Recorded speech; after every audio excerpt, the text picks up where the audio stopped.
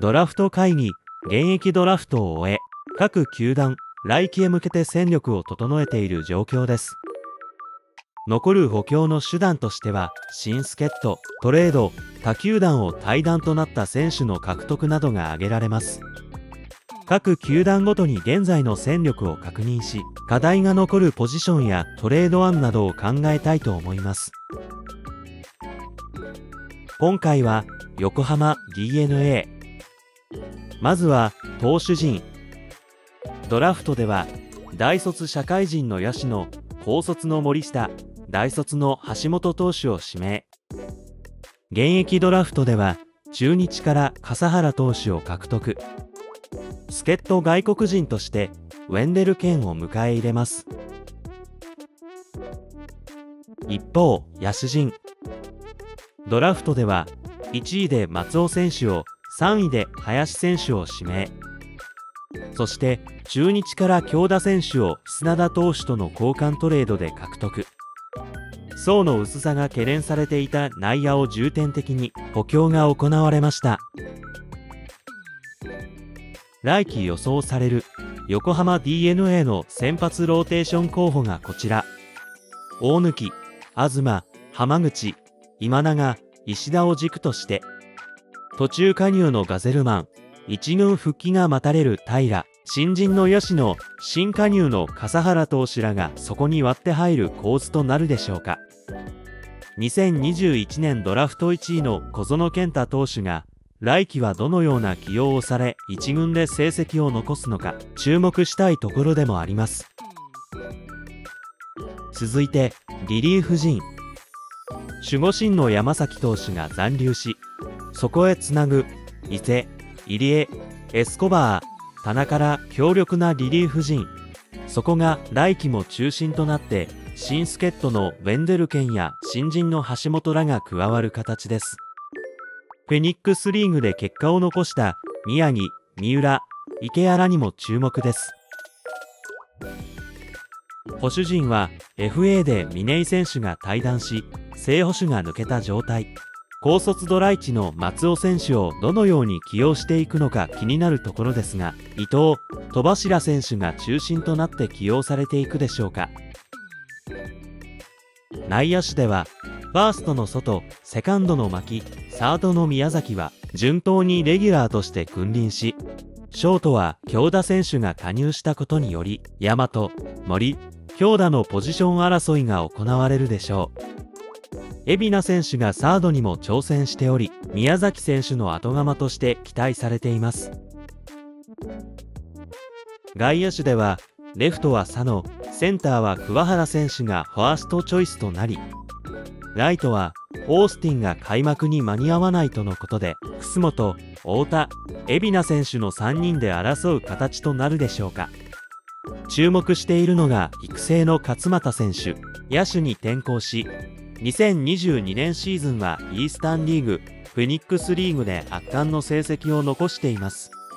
もしかすると、来季外野手争いに参戦し、レギュラーを取るなんてこともあるかもしれませんし、近い将来、佐野選手がファーストにコンバートし、空いたポジションに勝俣選手が入るということも考えられます。非常に楽しみな選手です。現時点で支配下選手は62名となっていて、投手34名、野手が28名と野手がかなり少ない人数となっています。先ほど言及した育成の勝俣選手や、今オフ育成落ちとなった櫻井投手はおそらく支配下に近い存在だと思いますので、支配下枠2枠はその2選手に使う想定でいると思います。横浜が抱える課題としては、外野手の少なさ、特に右打者の少なさが目立ちます。しかも来季は海老名選手が内野に専念との情報もあり、そうなるとさらに少なくなります。オースティン選手もスペ体質でなかなか安定して試合に出れていない状態です。補強ポイントとしては、この右打ち外野手でしょうか。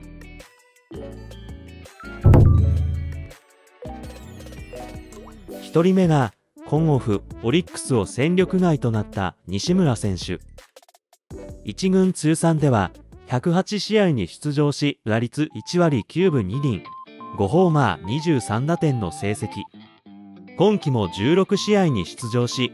打率1割3分3厘、6打点と1軍では結果を残せず階段となりました。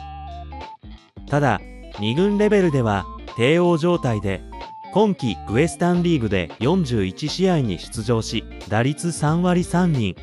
2ホーマー11打点の成績。通算でも277試合の出場で12ホーマー85打点の成績で2軍レベルでは結果を出せていました。ただ、今シーズン横浜を戦力外となった宮本選手と被る部分もあるので、可能性としては低いでしょうか。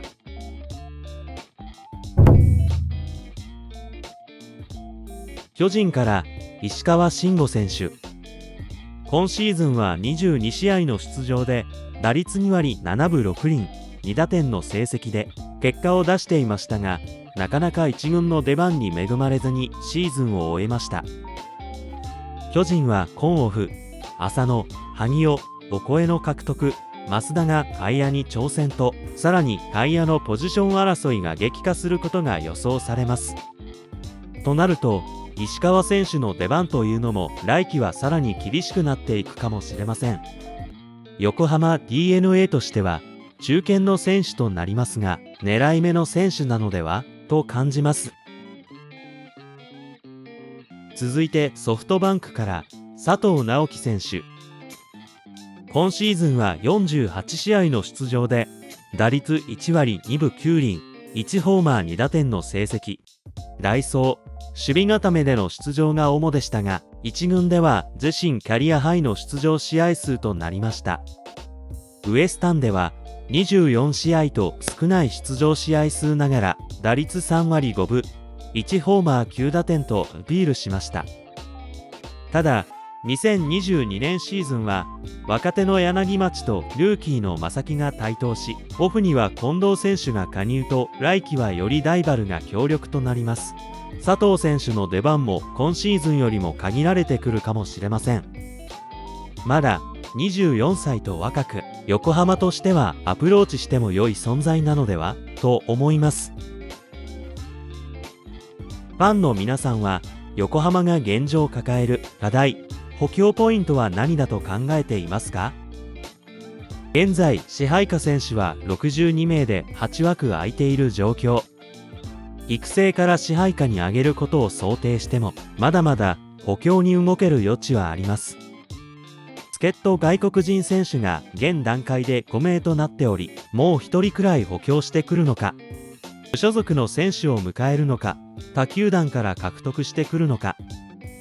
この先支配下選手を何名にして開幕を迎えるのか注目したいところです